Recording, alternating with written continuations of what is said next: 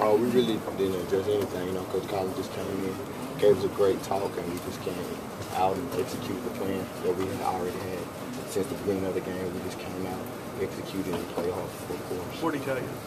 Uh, just keep doing this. Just play Mississippi State football. Play hard. Play physical and anything. You know, that's what we. That's what we're. Talk about the physicality out there. Really physical ball game.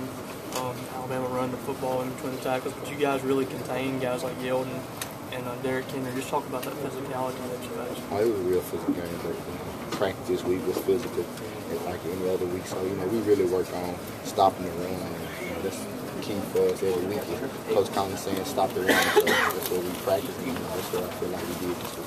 Beniquez, were you, were you on the field on the goal line where it, at first they ruled it was a fumble and then they ruled it a touchdown? Were you were you out there? Uh, yeah, I'm the one pulled it out. And what what do you see there? Nah, I mean, I really didn't get a good look. I just, you know, felt like I just uh, ripped it out, but you know, really can't second guess it. They reviewed it and you know, just accept it and just keep on playing. But that was a really big. That could have been a huge momentum swing. Yeah, it, was, it would have been a big momentum swing for us, but you know, can't ch- take it back. Just move on to the next play and put the ball down. As coach always tells us. You think you're still alive in playoff contention? Uh, hopefully, but you know, we're not. Uh, we're really worried about it. Just come out and get better next week and beat Vanderbilt, and if it's meant for us to make it, so we will.